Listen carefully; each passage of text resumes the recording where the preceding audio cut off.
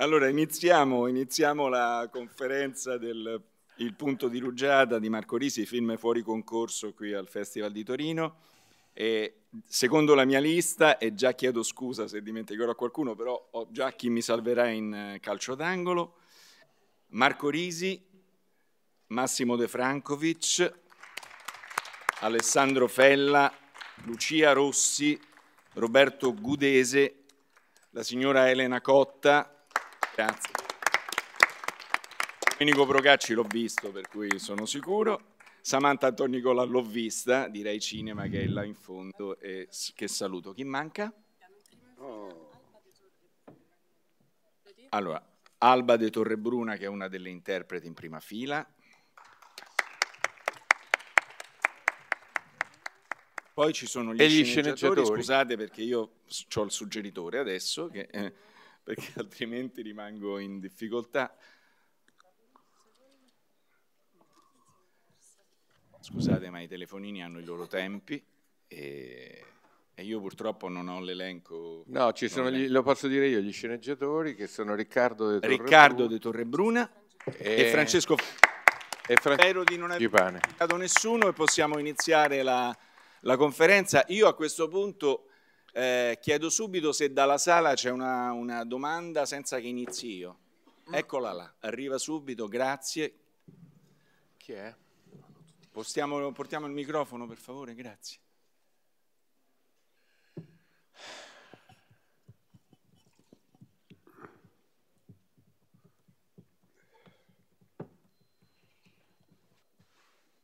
Non funziona? Funziona.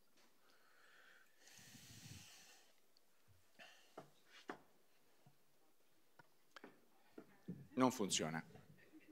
Allora, inizio io, poi magari farai la seconda. Allora, Marco, eh, io do- solo domande banali faccio, per cui cosa? Per come E anch'io do solo risposte Che solo banali. risposte banali. Allora siamo Mm. uno a uno. Sì. Eh, come nasce questo film, il progetto e raccontaci tutto. Ti. Banalissimo. Diciamo che nasce mh, più di die- dieci anni fa, sì. Mi trovavo in un festivalino di quelli lì dove ti si avvicina sempre qualcuno alla fine che ti ha qualcosa da farti leggere oppure qualcosa da raccontarti. E questo qualcuno però era un maestro di scuola che aveva vissuto questa esperienza alternativa al servizio militare ed era finito in una casa di riposo, aveva passato lì più di un anno, un anno e mezzo. E poi questo maestro di scuola è diventato anche uno scrittore di un certo successo, si chiama Enrico Galliano. Da lì questa cosa negli anni cresceva e cercavo di, gli ho detto anche prova a buttare giù un trattamento, anche una scena, ma non, non veniva mai come, come volevo. E nel frattempo sono maturate anche altre cose, per cui ho scritto quel libro su mio padre, sul nostro rapporto e questa cosa dei vecchi con i giovani, che io oramai non ero più, ma mi, mi cresceva dentro, mi stava dentro e mi incuriosiva molto vedere come sarebbe potuto avvenire questo incontro fra queste generazioni così lontane che si guardano con eh, occhi anche abbastanza diffidenti, perché non si fidano gli uni degli altri. E allora ci siamo poi alla fine, siccome non mi abbandonava questa cosa, abbiamo deciso con Riccardo De Torrebruna e Francesco Frangipane, di- con i quali avevo scritto già un'altra cosa prima, un film molto piccolo, indipendente che, eh, che ho fatto, eh, Tre Tocchi. Ci siamo chiusi dentro una, una casa eh, mia e siamo stati lì un mesetto per buttare giù una scaletta che finalmente ho capito che poteva essere quella giusta. Poi dai, dai, dai, dai, poi siamo arrivati ai, ai produttori, a Domenico Procacci, che, eh, al quale è molto piaciuto questo progetto. Eh, io non pensavo in realtà, perché sono quelle cose no, di cui si diffida un po' di solito nel cinema, no? parlare di vecchi come parlare di ciechi. La stessa cosa l'aveva vissuta mio padre quando ha fatto Profumo di donna. Nessuno voleva fare quel film. Invece qui è andata, è andata abbastanza bene perché Procacci ci ha dato il via e poi con Rai Cinema la cosa è andata, è andata avanti e siamo riusciti finalmente a girare il film. Ce n'è voluto però, più di eh dieci anni. Ho visto che poi dal punto di vista attoriale sei andato sul sicuro, perché sei andato su grandi nomi del teatro, come Massimo sì. De Francovic con la signora Elena Cotta e tanti altri ce ne sono alla, sì, e anche, anche, anche, i giovani, perché per esempio Lucia Rossi è un'altra che fa teatro molto, ma anche i due ragazzi, io non, non pensavo che fossero così, così, esperti, così bravi, insomma. Poi devo confessare che ero anche un po' eh, preoccupato perché dico, data l'età, avrei potuto abbassare l'età di una decina d'anni no? e farlo con dei eh, degli attori più, più, più, giovani. E invece no, sono stato proprio su, su, su, proprio su quel vecchiume bello. Su questi grazie. Eh, infatti no poi mi piace chiamarli vecchi perché loro ci, ci tengono ma ci siamo anche molto, molto, divertiti sul set. E invece no, ecco, stavo per dire che ero preoccupato, dico, si ricorderanno, si ricorderanno le battute, se le ricordavano meglio loro, meglio loro dei giovani, sapevano, avevano studiato, ecco, Vabbè, allora... cosa che non sempre succede. A me mi è capitato di lavorare con attori che non, non, non, studiano, che non sanno le battute, invece loro... Di teatro? Attori di teatro? No. Infatti, è quello forse... No è l'allenamento mentale a imparare le cose a memoria che poi aiuta, sai Marco. Eh, volevo, ecco, a questo punto poi vado da quelli che ricordo, Gigi Di Berti, sì. la mia amica Paila Pavese, Gigi Di Berti, Paila Pavese, Maurizio Micheli, Erika Blanc, Erika Blanc, Erika Blanc. Ero Spagni. Ero Spagni, Spagni eh, che non è qui. Ah, grande Eros. Eh. eh. grande, grande, fa un bel personaggio. Bruno Loris in prima fila che prima non abbiamo salutato. Eh, allora, eravamo in sospeso con una domanda adesso lascio tutto a voi eh, perché sono a vostra disposizione, guardate quante persone ci sono, eh, sì. domande a volontà. Buongiorno, Nicole Bianchi per Cinecittà News, una domanda a Marco Risi, anzi due veramente. Eh, parto dal titolo. La seconda 10 euro costa, eh? lo dico subito. Eh. Parto dal titolo, dal titolo sì. sì. Eh, il punto di rugiada in meteorologia, insomma, si sa, ma io mi sono informata un attimo, si tratta di un fenomeno che connette la temperatura dell'aria all'umidità, ecco che ovviamente qui è una metafora. Mi chiedevo come fosse venuto a conoscenza proprio di questo particolare fenomeno e l'avesse quindi scelto come sintesi del film. E poi la seconda domanda, qual è il suo personale punto di vista sul libero arbitrio rispetto alla scelta del fine vita? Grazie. Uh-huh il libero arbitrio. Eh, secondo alcuni il libero arbitrio non esiste. Spinoza diceva che il libero arbitrio non esiste, ma anche Leonardo da Vinci e anche altri. Io ho frequentato uno psicanalista per un certo periodo di tempo e anche lui diceva che in fondo il libero arbitrio non esiste, è tutto predeterminato quello che, che, che, succede. Una piccola parte possiamo deciderla, eh, possiamo deciderla noi. Però io sono assolutamente favorevole al fatto che se dovessi, l'ho detto anche ai miei figli, dico, se dovessi improvvisare, cosa che stava per succedermi stanotte, dovessi improvvisamente rincoglionirmi o stare una, eh, in una situazione non eh, civile, dico, eh, sopprimetemi senza alcun dubbio. Eh, per quanto riguarda il punto di rugiada, ehm, ero, ero, alla ricerca di un titolo. Io frequento un ristorante che si chiama Il Padovano ed è gestito da abruzzesi però.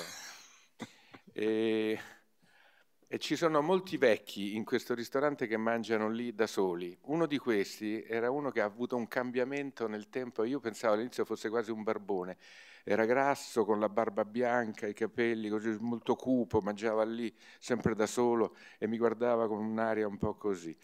Poi l'ho rivisto mesi, mesi dopo che aveva messo i denti, perché prima non aveva, e, era dimagrito, aveva tolto la barba, era diventato quasi bello e ho cominciato a, a chiacchierare un po' con lui, mi ha raccontato un po' della sua vita e soprattutto che era un pianista. Lui avrebbe dovuto fare il pianista del film, però siccome gli era venuta un'artrosi terribile alle mani, eh, ha detto no, guarda, non me la sento, non lo faccio. Ma è stato lui che un giorno mi ha illuminato con il titolo del film, perché ho scoperto che era anche un dilettante meteorologo, ma al quale una volta avevo chiesto, dico, beh, però, bella giornata oggi, sì, ma vedrai che verso le quattro e mezzo piove, dico, questo qui è completamente, diciamo, perché c'era il sole, era bellissimo, e alle quattro e mezza aveva cominciato a piovere. Un'altra volta abbiamo parlato del tempo e lui ha detto, oggi temo che forse raggiungeremo il punto di rugiada. Alto là, alto là, il punto di rugiada ma che cos'è il punto di rugiada? Me lo sono andato a studiare le cose e in effetti, insomma, per semplificarla, potrebbe anche essere l'incontro fra il caldo e il freddo, o il freddo e il caldo, l'aria fredda che c'è fuori e l'aria calda della terra, l'aria fredda all'esterno, l'aria calda all'interno di una casa, quando si forma la condensa sui vetri, no? quella cosa lì. E insomma questo fatto di due, due poli abbastanza lontani, il caldo e il freddo, il vecchio, scusate se abuso di questo termine, ma e il giovane, dove non è detto che però il caldo sia rappresentato dal giovane, eh, mi incuriosiva, mi sembrava, mi sembrava, poi un bel titolo, forse più letterario per un romanzo che per un film, però, però mi piace il punto di rugiada, no? suscita una certa curiosità. Quindi quello è stato il motivo. Mi ha, mi ha illuminato, infatti Pierluigi si chiama lui, che sì, non, gli ho detto, dico vieni a vedere il film, no, no, sì, lo vedrà forse a Roma. Aspettava con ansia l'uscita. Speriamo che Luigi vada a vedere il film allora. E chi è che vuole intervenire? Non ci sono domande, allora io approfitto perché abbiamo una signora del teatro italiano e un, un altro maestro del teatro italiano, alla signora Elena Cotta volevo chiedere se ormai il cinema praticamente sta diventando la, la sua nuova la, realtà lavorativa, visto che ci sono film uno dietro l'altro negli ultimi anni. Ti chiedo scusa, non ho capito la Ha ragione, è colpa mia. No, sto dicendo che ultimamente dal teatro sta passando a, un, a fare film sempre più di frequente e volevo sapere se il cinema è diventata una realtà che lei apprezza e, e, che, e, e che, accetta volentieri nella sua attività lavorativa. Assolutamente sì. Innanzitutto c'è una resa pratica molto più importante che non per quello che è il teatro che io adoro, ma eh, il teatro non lascia tracce e il cinema invece no, è una testimonianza e che rimane ed è importantissima, soprattutto se uno ha la consapevolezza, adesso faccio cattedra, eh, di, eh, di partecipare a qualche cosa di importante, di utile, che sia un messaggio, che sia un, non dico un insegnamento, ma comunque positivo. E, e questo mi fa molto piacere, mi rende molto importante. Beh, sì. E, e qui c'è, c'è, quando io ho letto eh, tutta la sceneggiatura, la, devo dire che immediatamente sono stata colpita dal personaggio di questa piccola donna, vecchia, che ha sempre pronta la valigia e fino all'ultimo crede nella vita. E si, è, un è, veramente un personaggio al quale io mi sono Bellissimo. affezionata molto. Peccato e che c'è sempre, un, uno shop, c'è sempre, uno sciopero. Che mi ha eh, ma l'ha coperta perché no, mi, scusate, sì. L'ha coperta Prego, quando stava dicendo Continu. la cosa più importante. Esatto. Ringrazio Marco. Marco, infatti. ah, per l'opportunità. Allora, dovete sapere che io a Elena, gliel'ho detto anche ieri, eh, a un certo punto le ho chiesto, le ho chiesto doveva salire due, tre scalini anche un pochino alti e con una valigia anche con dentro delle cose perché odio che ci siano le valigie finte nei film. Per me un film è bello o brutto se ci sono le valigie vere nel film. Quindi quando vedo una valigia vuota già dico questo film è brutto. E, ehm, ed Elena gli ho chiesto, dico, ce la fai a fare questi scalini con la valigia? Se vuoi possiamo cominciare da... E lei giustamente mi ha detto, ma tu mi offendi. E dico, ma perché? E ieri mi ha spiegato perché, perché un attore deve saper fare tutto in qualsiasi situazione e condizione. Cioè non dipende, ecco lì veramente l'età non c'entra niente. Lei è venuta a fare il film, c'era una donna che doveva portare una valigia, non c'era scritto che doveva però fare due scalini, questo gliel'ho detto io. Però lei li ha fatti con una tranquillità e andava Poi quelle cose che io immaginavo che lei dovesse fare, tipo quando Gigi Di Berti gli dice anche lei aspetta l'autobus in un corridoio, una cosa, e le dice andiamo bene, le diceva esattamente con quella faccia e quell'espressione lì che io avrei voluto. Massimo De Francovic, il suo ruolo è diciamo, un po' un riferimento nel film, è una persona molto austera, con un passato di grande, di grande successo. E, mm, e, come si chiama nel film? E come si chiama nel film? Adesso io... Dino. Dino. Si chiama Dino... Ha una bella responsabilità. Eh? Si chiama Dino Rimoldi. DR quindi. Dino Rimoldi, eh, che aveva arredato la sua camera al, alla casa di riposo con tutti i ritagli di che Dino Risi aveva fatto nella sua vita, fotografie tutte incollate, le stesse. La, la mh, penna stilografica c'erano le iniziali DR, Dino Rimoldi. In realtà era la macchina la del penna. papà di Marco. Questo però non vuol dire che si è voluto rifare eh, Dino Risi, assolutamente, anche perché eh, non è mai passato per la mente, però c'è un eco in certe battute, in certi momenti, eh, c'è un eco che Marco ha voluto che, che io trasmettessi, insomma. E, non è stato responsabile, è stato, responsabile, è stato una, un arricchimento naturalmente, è stato un arricchimento e quindi eh, sono contento. Il personaggio è un personaggio mm, molto, un po' cinico, molto ironico, molto scherzoso. Marco mi è stato molto vicino perché lui sa che io ho fatto tanto, forse anche troppo, tanto teatro. E allora voleva che io facessi lo switch fra teatro e cinema. Questa parola switch io non è mia, eh, ma parlando con un regista giorni fa, eh, mi ha detto perché io so che poi tu sai fare lo switch fra teatro e cinema. Io sono rimasto ma colpito, eh, mi piace, cioè in effetti a teatro si recita in un modo, al cinema in un altro.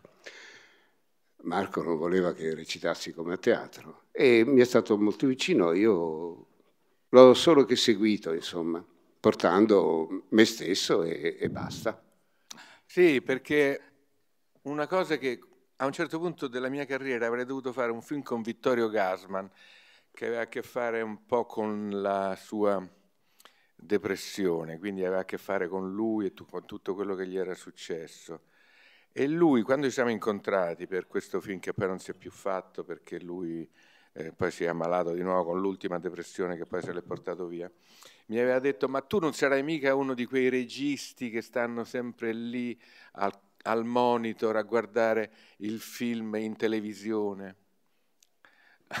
Questa in realtà me lo disse Sordi, la televisione. Una volta venne a trovarmi sul set dell'ultimo Capodanno perché voleva incontrare la Bellucci e mi disse che è stata a fare la televisione perché c'era, il monitor e noi guardavamo la scena appena girata.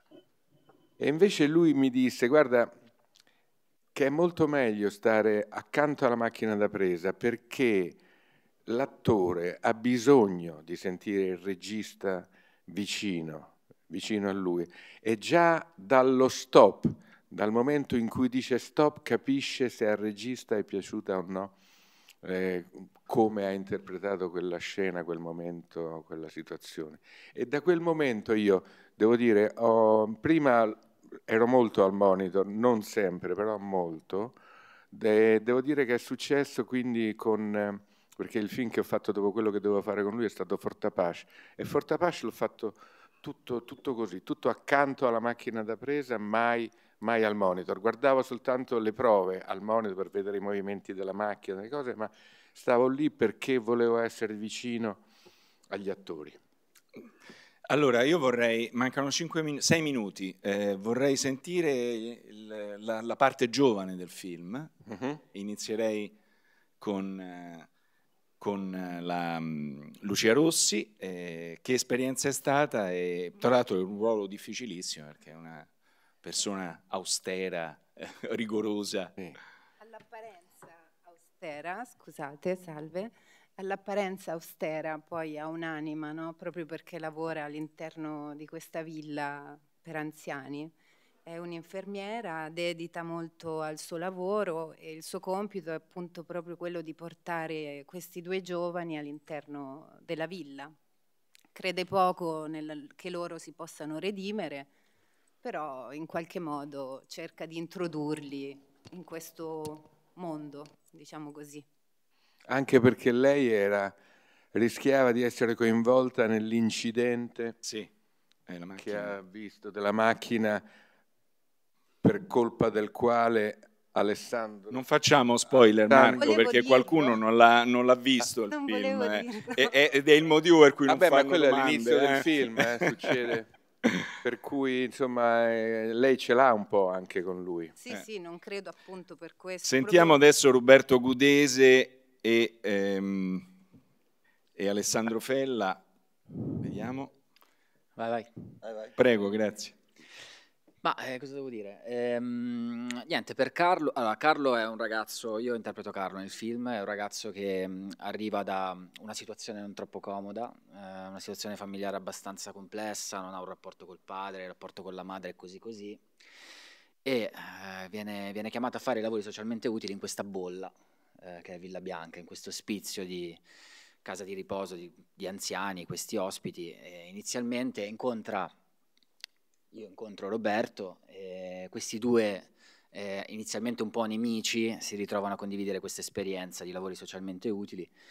E, ehm, ed è stato tutto un po' una sorpresa, no? perché poi questi due mondi come nel punto di Rugiada il caldo e il freddo si incontrano e avviene un cambiamento attraverso queste figure, Carlo empatizzerà e si avvicinerà soprattutto alla figura di Dino e troverà in Dino forse qualcosa che poi al di fuori di questa bolla non aveva mai trovato, un padre, una guida, una bussola. E, e, quindi poi si attraverserà questo punto di rugiada e questa bolla, questo, questo posto sarà per Carlo diciamo, il, il punto per, per, un cambiamento, per, per l'inizio di una, nuova, di una nuova vita. Quindi per noi, poi lascio la parola a Roberto, almeno per me, io quando ho vinto il provino ero contento, contento ma anche spaventato perché comunque avere a che fare con questo calibro di attori che hanno segnato la storia del cinema e del teatro del, degli ultimi anni, degli ultimi decenni. Insomma, per me, che questo è il mio primo film, è stata un'opportunità, una fortuna immensa.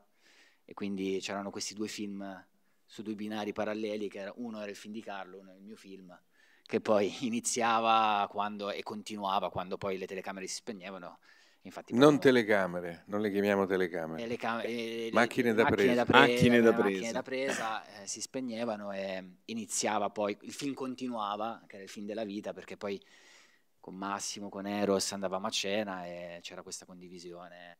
Eh, quindi è stato un arricchimento sotto tutti i punti di vista, certo. umano e artistico. Forse a, Roberto, a Roberto faccio una domanda più precisa, è stata dura imparare le canzoni degli anni 60, allora, che sono sicuro che tu non conoscevi assolutamente. No, poi sapevo anche, cioè, cercavo di imparare anche le strofe dopo perché mi immaginavo già che poi magari andava avanti la storia, quindi dovevo, per, per non risultare, capito...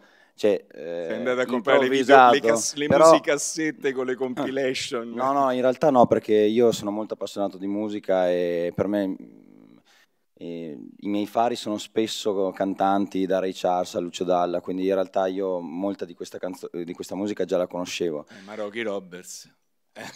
Eh, eh, no, anzi, quando abbiamo fatto una scena, lui ne approfitto per ringraziarlo perché eh, c'è quel movimento che fa Roberts che io avevo già visto e ho voluto in una scena e in questo lo ringrazio perché Marco è una persona molto, anche se ligia appunto la sceneggiatura, giustamente perché è stata scritta da loro, eh, dove trova, ha trovato delle idee positive ha lasciato, ha lasciato spazio a noi di creare. Questa è una cosa eh, che non è dovrebbe essere sempre così, invece non è scontata. Però se mi permetti volevo dire solo una cosa.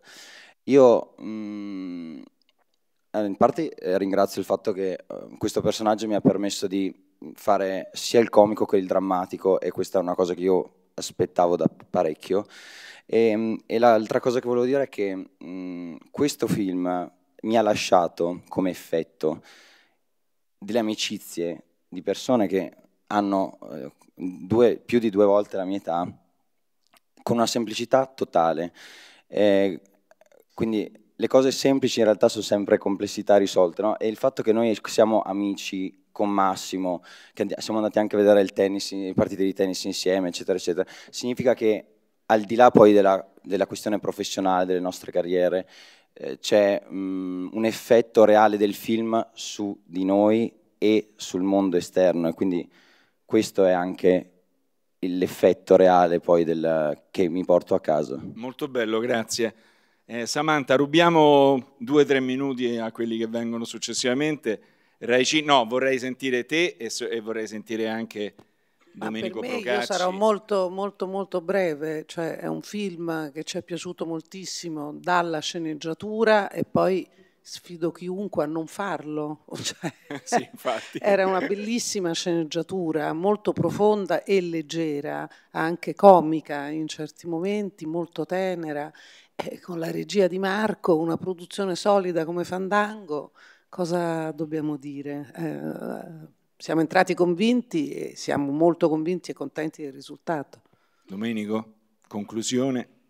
Dulcis in fondo. Siamo sui ringraziamenti, quindi ringrazio anch'io Re, Re Cinema per averci accompagnato in questa produzione, Marco e tutto il cast per il lavoro ottimo che hanno, che, hanno, che hanno, fatto e, e, gli autori. E ringrazio in modo particolare uno degli autori che è Riccardo De Torre Bruna, che è qui in sala.